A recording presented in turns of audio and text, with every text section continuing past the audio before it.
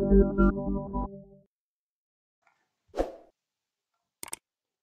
everyone and welcome to a new video in our YouTube channel bimandbeam.com. So in today's video we are going to learn together how to create shared parameter and use them as project parameter in our project. Uh, so let's give you a simple definition and quick definition of what is the shared parameter. In fact the shared parameter is the parameter that you can add to a family or projects and share these uh, these shared parameter with other families and project and template because they give you the ability to add any specific data or information uh, that are not already predefined or used in your family file or your project template. Uh, for example, we want to create our example here uh, to add the shared parameter price for this uh, element for this door. You can note that we, uh, uh, the parameter price is not added in our element. So we will add the price for the door. We can also add the parameter. Uh, let's take another example.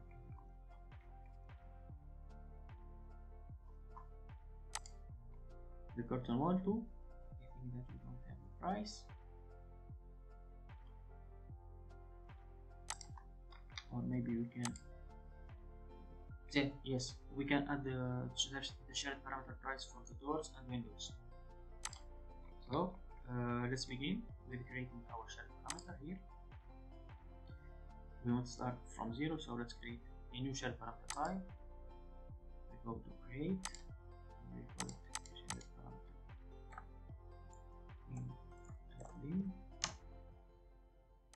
save it.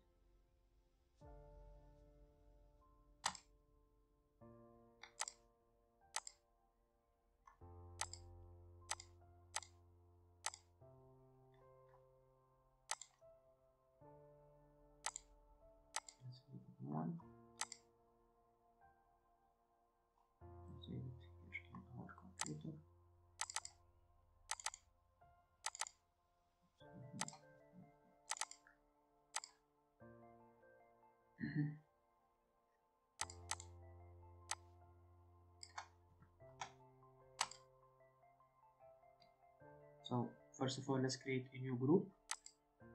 We call it um, so the group is a sort of category for our parameter. So let's name it.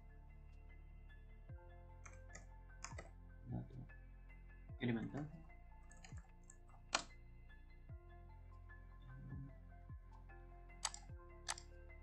the first parameter that we want to create is price the display is a common the type of parameter.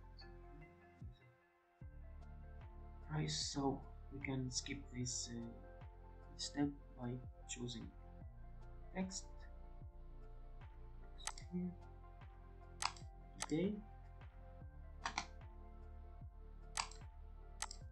so the parameter the shared parameter is now created so let's add this project parameter here let's add a new one So when adding a new project parameter, uh, we can choose uh, the project parameter or the shared parameter. The difference is that the project parameter can appear only in schedule but not in tags. But if you want to uh, to show this uh, parameter in schedule and tags, uh, it is the ideal is to choose a shared parameter. So let's select shared parameter, then select what is the shared parameter that you want to add. We have only the price. Okay. so we will class and choose the group of our parameter here under let's say then select uh, what is the category that we want to uh, use uh, our share parameter here.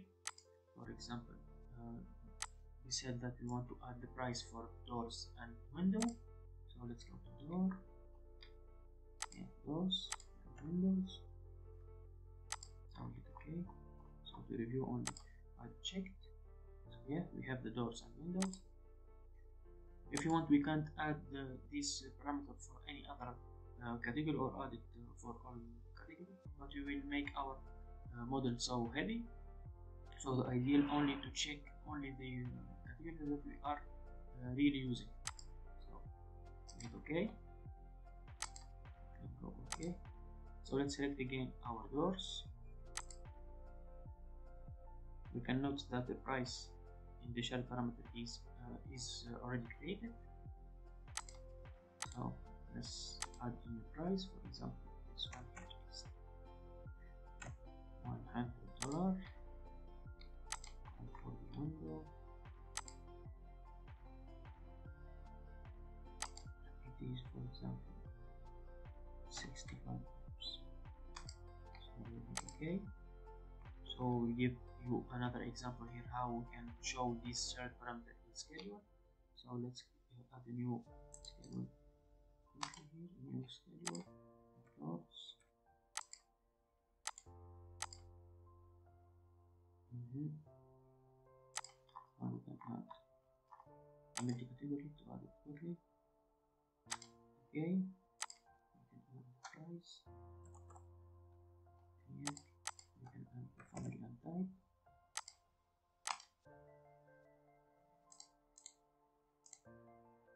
so hit ok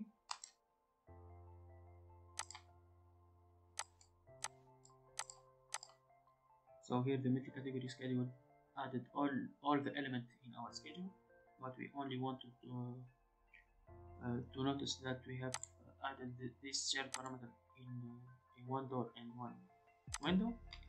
So we are going to filter by price parameter exist so hit ok now we can notice this is our uh, single window and this is our double dash door. So let's see. And highlight in model. This is our single window that we have already added that's it for today. And thank you for watching everyone. Please subscribe to our youtube channel like our video and see you soon in other videos